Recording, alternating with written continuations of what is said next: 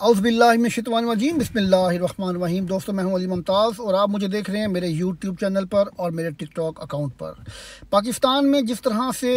سنی اتحاد کونسل کی جانب سے جو اپیل کی گئی تھی سپریم کورٹ آف پاکستان میں، اس پہ ہیرنگ ہو رہی ہے اور ہیرنگ کے دوران جو مختلف ججز کی آراء سامنے آئی ہیں، ان سے آپ لوگ ڈیفینیٹلی اندازہ لگا سکتے ہیں، کیونکہ یہ انہوں نے جو سسٹم بنایا ہے اس دفعہ اس دفعہ سپریم کورٹ آف پاکستان کے چیف جسٹس عیسیٰ فائز صاحب نے کہ وہ تمام جو ہیرنگز ہوتی ہیں پبلک انٹرسٹ کی، اس کو وہ لائیو دکھاتے ہیں، جبکہ وہ اتنا بڑا ایک پبلک انٹرسٹ کا ایشو جو کہ نیب کے قوانین میں ترامیم کی گئی تھیں اس کی ہیرنگ صرف اس وجہ سے عوام کو نہیں دکھائی گئی کہ وہاں پر عمران خان کو لائیو آنا تھا۔ یہ خیر ان کی میرا فائدی ہے، اس میں تو کوئی شک نہیں ہے کہ چیف جسٹس نے یہ اسٹیبلشمنٹ کے کہنے پر ہی ایسا کام کیا ہے، ورنہ یہ کوئی چیف جسٹس ہونے کی حیثیت سے اتنا بڑا کوئی فیصلہ نہیں تھا کہ وہ ان کو لائیو نہ آنے دیتے۔ اب جو صورتحال ہے، ریزرو سیٹوں کے بارے میں کہ کیا ریزرو سیٹوں کے اہل ہیں سنی اتحاد کونسل یا نہیں، یا جو سیٹیں مختلف پارٹیوں کو تقسیم کر دی گئی ہیں الیکشن کمیشن آف پاکستان کی جانب سے، وہ فیصلہ غلط ہے یا صحیح ہے؟ اس کے اوپر جو اپیل کے دوران ہیرنگ جاری ہے، جس میں بلا مبالغہ chief justice of Pakistan Isa Faez کا جو ایک باعث ہونا ہے، وہ تو نوشتہ دیوار ہے، وہ تو دیوار پہ لکھا ہوا نظر آ رہا ہے کہ وہ ہر اس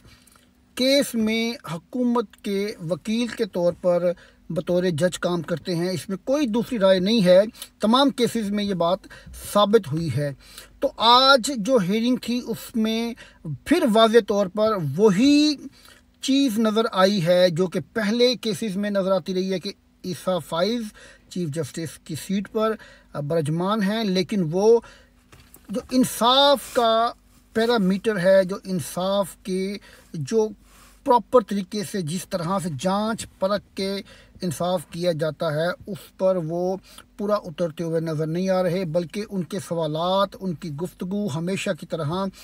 وہی ثابت کرتی ہے کہ وہ حکومتی ترجمان ہیں یا حکومتی وکیل ہیں، نہ کہ وہ چیف جسٹس آف پاکستان ہیں۔ تو ایسی صورتحال میں میں تو یہ سمجھتا ہوں کہ موجودہ صورتحال میں کوئی ریلیف نہیں ملے گا۔ اتحاد کونسل کو، سنی اتحاد کونسل کو سیٹیں نہیں دی جائیں گی، بلکہ جو اسٹیبلشمنٹ یا جو حکومتی جو لوگ ہیں، وہ چاہتے ہیں انہی کی منشا کے مطابق سپریم کورٹ آف پاکستان سے فیصلہ آئے گا۔ اگر نہ بھی آیا تو کم از کم چیف جسٹس آف پاکستان کی حد تک جو ان کا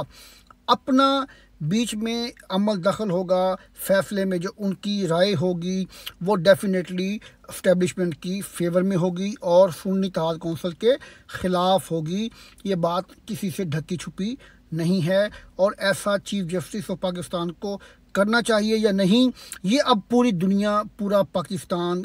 ہر پڑھا لکھا ان پڑھ شخص جان چکا ہے۔ اب آتے ہیں اس طرف کہ اگر